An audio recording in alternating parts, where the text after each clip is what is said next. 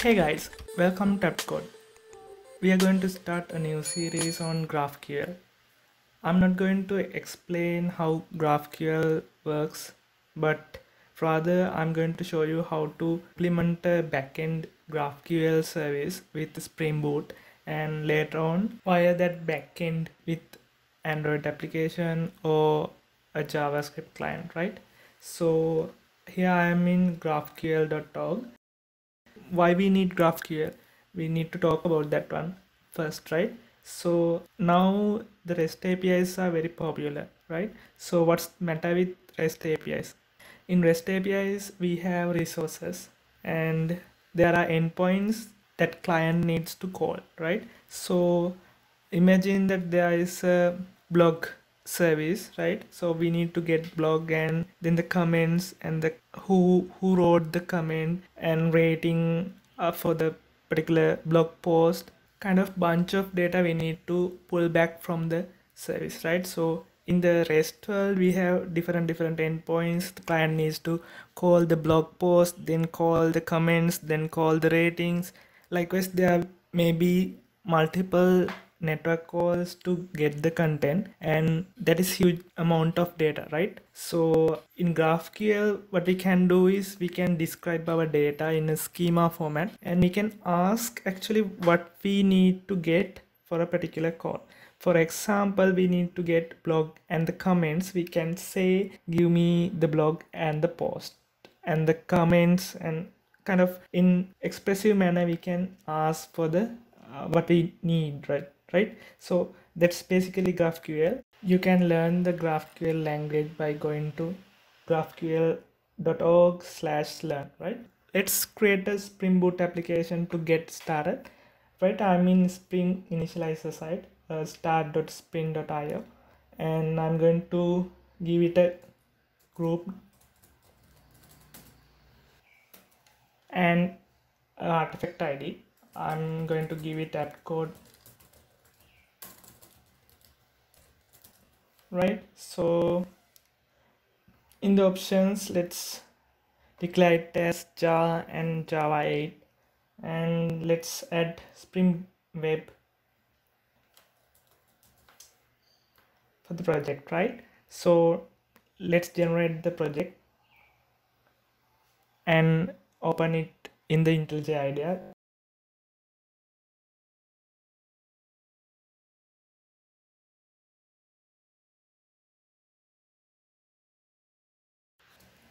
okay guys now all the dependencies has downloaded right? So i'm in the project.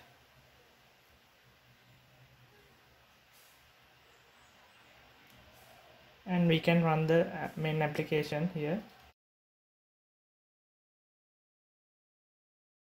Then we need to go to graphql spring boot kickstarter project right? Uh, this is the url and you can also search in google and go to this one right? So we need to basically this is a graphql tool star and other required dependencies uh, bundle into a spring boot starter right? So we just need to add this dependency so other required all the dependencies will come for our project right? So we can actually click the maven central link and it will navigate us to maven central repo and we can copy this one. So this is the first dependency i'm going to add. There are other dependencies for different different aspect of the project. Uh, maybe developing maybe testing and trying out right? So uh, we need to first to have the graphql spring boot starter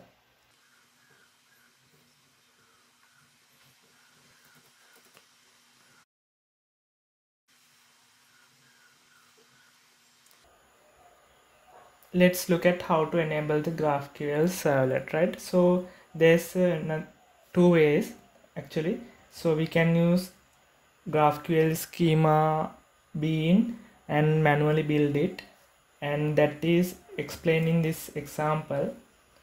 If we go to source main application boot configuration uh, here is the GraphQL schema and new schema. We are basically building the schema here in the bean in the Java format, right? So another thing we can do is we can add a dependency and use the schema first approach. So we need to go to the supported GraphQL schema libraries and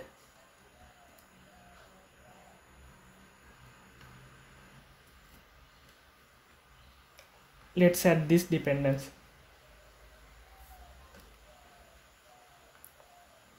so as you as I told earlier we don't need the this dependency if we are going to manually specify the bean right? So otherwise we need to add this dependency right? So now it's all good. Let's run it again to verify that it's working. Now we have two dependencies which is GraphQL Spring Boot Start and GraphQL Java Tools. Both come from com.graphql dash java dash kickstart group ID because there are several other things other libraries we can use for the use as the starter but I'm going to use this one because this one is the latest updated one right? So uh, sorry I was running the test case. Let's run this one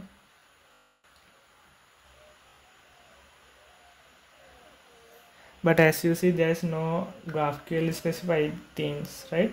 So let's add the GraphQL schema first.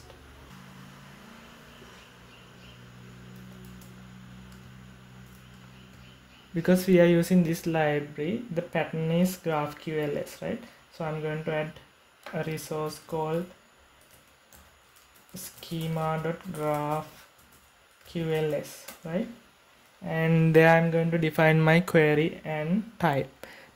Basically type is the data type we are going to use um, which is which is express the how data looks like right? The query is the how we going to fetch the data and how what is the format and what needs to be returned kind of thing right? So let's add this annotation uh, first uh, let's add this mapping enable true and CORS enable true flags to the application properties right? So I'm going to change this to YML and paste that here right? Now we have schema and we have application YAML right? Let's add the resolver uh, for the query and the data types and let's see how it works right? So i'm going to have a type which is called book right? Um, it is having a title which is type of string and it cannot be null which is specified the exclamation mark right? Then we have isbn another string and the exclamation mark. Then we have a type query then the query name. Query name is get book. I'm going to get the book by ISBN right? So string. And it returns we need to have a colon and book. So if it is a list we can add it like this right? So now it's only one book.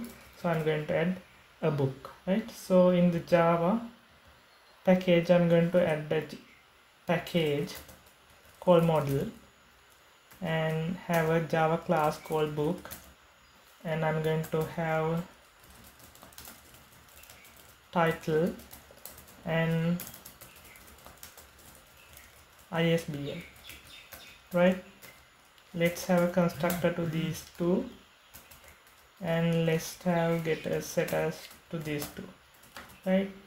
Let's have a package for resolver and let's have book resolver.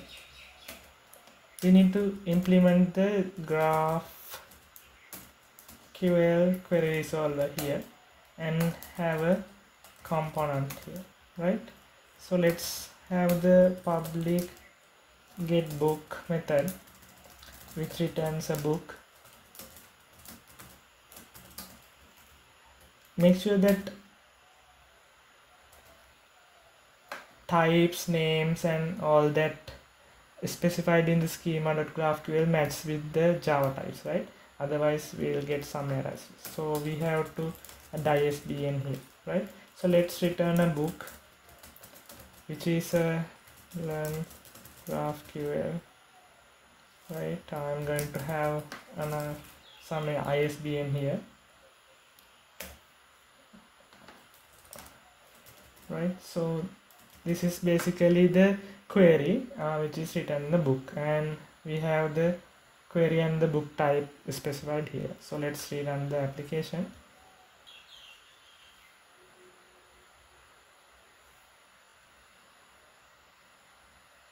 Okay now uh, bean is catched and it is running on the uh, server right? So now basically we are having a, a GraphQL endpoint for the book which is get book right? So let's use postman to query this.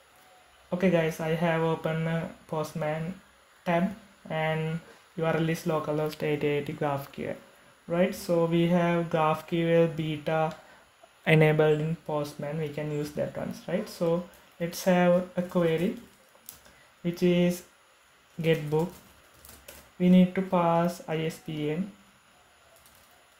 right of type of type string right? Now we need to get book. And ISBN is ISBN let's ask for the title right? Now here is the GraphQL variables which map for this ISBN uh, which is starting with the dollar mark. We need to provide that all right? So let's have that one.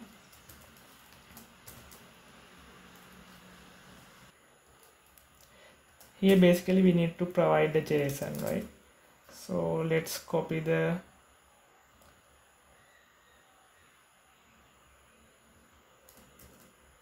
this one and paste it here and let's send.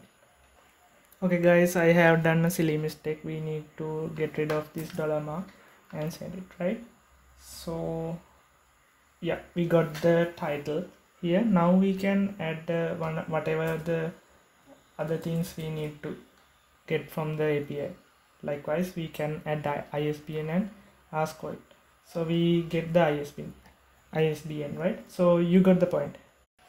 Okay guys now we have created the spring boot graphql project and one query which is working right? So from the next tutorial let's discover the aspect of graphql and why it with the android client in later video right? So thanks for watching guys. If you find this tutorial helpful please click like button and subscribe to our channel. So happy coding guys. Bye bye